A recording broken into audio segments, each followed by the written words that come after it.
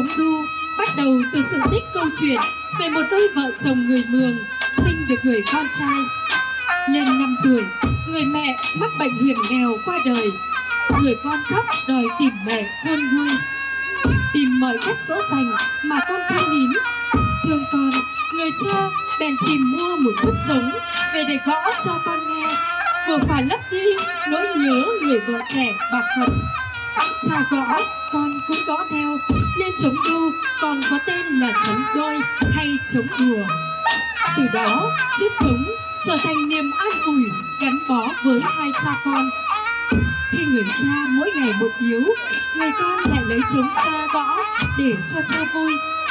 Đến khi cha mất, người con đã tổ chức múa trống đu để tưởng nhớ và tiễn biệt người cha thân yêu của mình về nơi chí suối.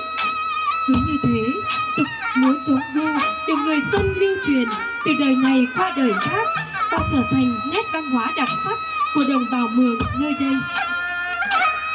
Thưa quý vị, theo thời gian và nhu cầu sinh hoạt văn hóa tinh thần ngày càng tăng lên của đồng bào Mường, ngày nay biểu diễn múa chống đu không chỉ để giải bày, thể hiện nỗi nhớ tha thiết, biết ơn đối với cha mẹ đã một đời vất vả nuôi con khôn lớn, mà còn phục vụ nhu cầu thưởng thức của người dân trong các dịp hội hè, lễ tết, mừng nhà mới. Với mong muốn cầu cho một năm mới mưa thuận, gió hòa, quốc thái dân an.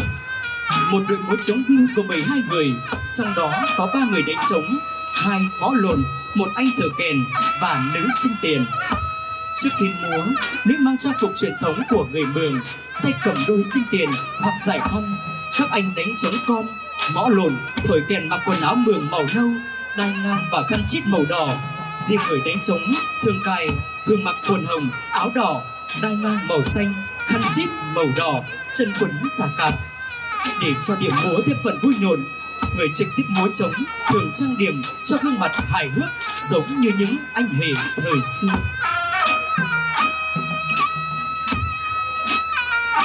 Quý vị, trải qua năm tháng từ gõ trống làm vui, múa trống đu giờ đã trở thành nghệ thuật diễn sướng dân gian, hình thức sinh hoạt cộng đồng không thể thiếu của đồng bào Mường nơi đây, thể hiện những khát vọng về cuộc sống bình yên, no ấm trên quê hương mình.